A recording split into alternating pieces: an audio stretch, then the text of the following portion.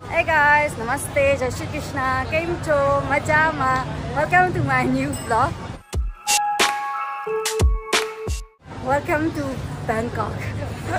Welcome to Bangkok हो गए क्योंकि मैं Bangkok पहुँच चुकी हूँ सुबह सुबह उठ के मैंने हिसाब किताब भी कर लिया दुकान का क्योंकि हम लोग था नहीं दुकान पे दोनों बहन को रखे गए थे तो पैसे की हिसाब किताब करके मैं अभी वापस से घर जा रही हूँ टिफ़िन लेने के लिए मम्मी खाना बना रही है तो मैं, मम्मी ने खाना मम्मी बोला कि खाना बना लिया है, आगे टिफ़िन ले लो। इसलिए मैं वही लेने के लिए जा रही हूँ घर। बहुत सारे लोगों ने मुझे क्या बोला पता है? तुम पतली हो गई हो। तो मैंने क्या बोला पता है? मैंने बोला कि हाँ मैं बहुत ज़्यादा इंजॉय करके आई हूँ। सुनिया की शादी में बहुत ज़्यादा डांस किया। शादी में डांस नहीं कर पाई, क्योंकि बत्ती चले गए थे, इसलिए लाइट चले गए थे। तो सूर्या की शादी में डांस नहीं कर पाई, पर दही खाने में मैंने डांस किया। दही खाने में भी नहीं किया। मेहंदी में ही किया है। मैंने बहुत ज़्यादा डांस किया मेहंदी में। कि मेरा पेट में भी दर्द हो रहा था तो मैं ज़्यादा डांस कर नहीं पाई। दही खानी और शादी में शादी में तो लाइट चले गए थे, इसलिए डांस नहीं कर पाई। और ये भी बोला, तू बहुत ज़्यादा काली भी हो गई। तो मैंने क्या बोला पता है हाँ काली हो गई, क्योंकि वहाँ पर बड़वा में बहुत ज़्यादा ठंड था तो मैं सिर्फ़ धूप में रह रही थी ना, इसलिए मैं काली हो गई। और ये भी बोला तुम्हारा पिम्पल्स भी आ गए बहुत ज़्यादा। मैं बोला हाँ कि मैंने मेकअप लगाया था ना इसलिए पिम्पल्स आ गया है। मैंने लोग को फ़ोटो दिखाया तो वो लोग मुझे नहीं पहचाना तो उन्होंने बोला ओ माय गॉड कितना सुंदर लग रही है तू।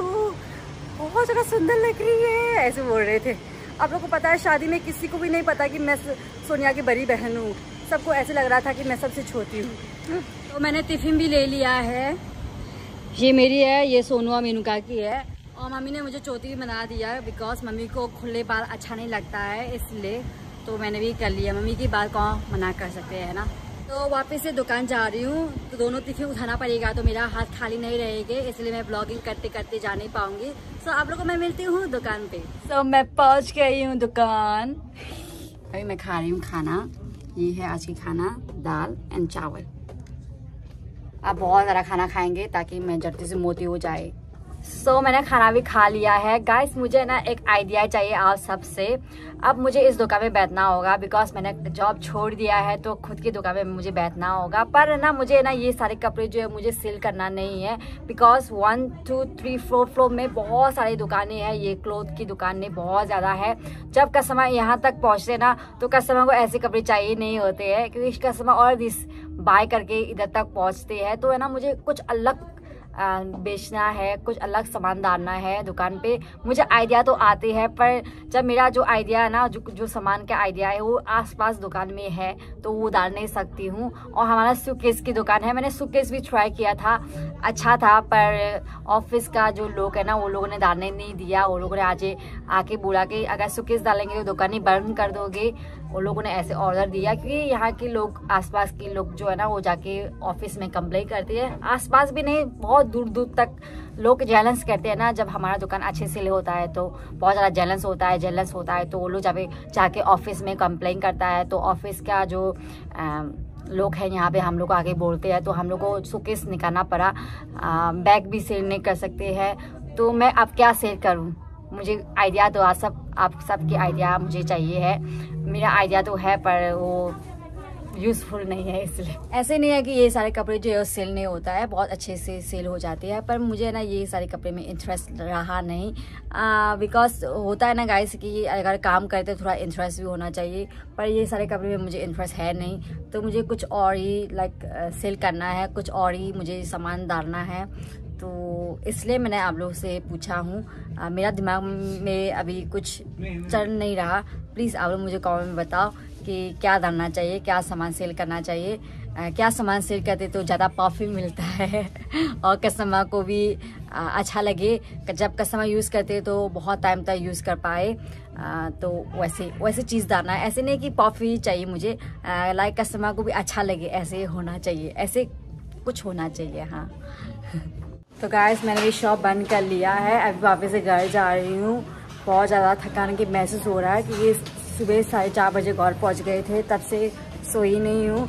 और रात को सोई थी गाड़ी में, पर बीच बीच में उठना पड़ा ना तो ऐसे लग रहा है कि नींद पूरा नहीं हुआ है, इसलिए थकान की महसूस भी हो रहा है। अभी मैं घर जाऊँगी, खाना खाऊँगी, उसके बाद हवाई पीऊँगी, उसके बाद मैं सोऊँगी। सोनिया की बहुत ज़्यादा याद आ रही है। अभी घर जाऊँगी तो सोनिया है नहीं तो मिस कर रही हूँ मैं अभी से उसको। और मैं क्रिसमस भी आने वाले हैं और मेरी बर्थडे भी आने वाली है। मसाज करने के लिए बहुत सारे लोग बाहर पे इंतज़ार कर रहे हैं।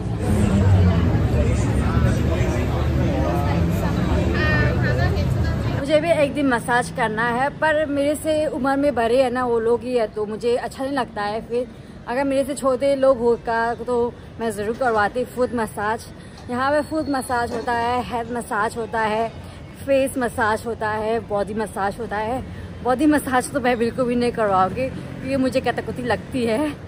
यहाँ पे लड़कियों से करवाना है तो लड़कियों से भी कर सकते हैं, लड़कियों से, लड़कों से करवाना है तो लड़कों से भी करवा सकते हैं। पर अगर हम लोग लड़कियाँ जाएँगे तो लड़कियाँ से ही कराएँगे। ऐसा है। आप लोग भी अगर जाए हैं तो लड़की हो तो लड़कियों से ही कराओ, लड़का हो तो लड़का से ही कराओ तो अच्छा होगा, है ना? तो मैं पहुँच गई हूँ घर, कोई भी नहीं आया है, अभी तक से मम्मी है, अकेली देखो। बेचारी मम्मी अकेली खाना बैठ के खा रही है। थक गई आप? दिन भर काम करी थी।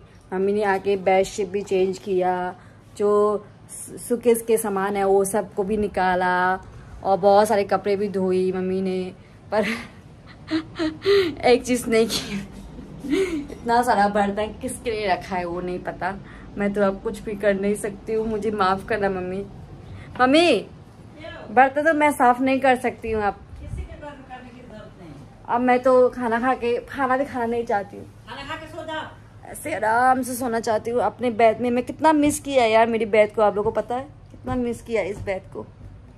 जब हम लोग बर्मा जाएँगे तो ये भी लेके जा सकते हैं क्या? हाँ, हाँ? बर्मा जाने का नाम ही मत लेना बर्मा जाने का नाम ले लेंगे कि बर्मा में फाइटिंग चल रहा है फाइटिंग पता नहीं कौन जीतेगा। बस किसी को ज़्यादा नुकसान ना हो, बहुत सारे बच्चे लोग भी है, ऐसे बुद्धि, बुद्धा लोग बहुत ज़्यादा है, वो लोग को, वो लोग रन नहीं कर सकते ना, जब फाइटिंग होती है तो। बस वो लोग को नुकसान ना हो, यही मैं विश करती हूँ। बहुत ज़्यादा फाइटिंग चल रहा है गाइस अगर आप लोग को मालूम होना है तो आप लोग यूट्यूब में सर्च करके देख सकते हो. मैं बता नहीं सकती कि जब मैं बर्मा जाएँगी तो ये लोग ये वीडियो देख लेंगे तो ये लोग मुझे जेल में डाल देंगे, इसलिए ये लोग के बारे में ज़्यादा बता नहीं पाऊँगी मैं. तो आप लोग को अगर मालूम होना है तो आप लोग गूगल में या यूट्यूब में सर्च करके देख सकते हैं बर्मा की सिचुएशन कपड़े वपड़े भी चेंज कर लिया है खाते हैं खाना. तो गाइस कल मैं खाना खाने के बाद बिना दवाई लिए मैं जल्दी से सो गई. और ब्लॉग भी एंड नहीं कर पाई, इसलिए मैं अभी ब्लॉग को यहीं पे एंड करती हूँ। अच्छा लगा है तो लाइक कर देना शेयर कर देना। जो चैनल पे नया है सब्सक्राइब कर देना। मिलते हैं नेक्स्ट ब्लॉग में। Keep supporting keep loving thank you for watching bye bye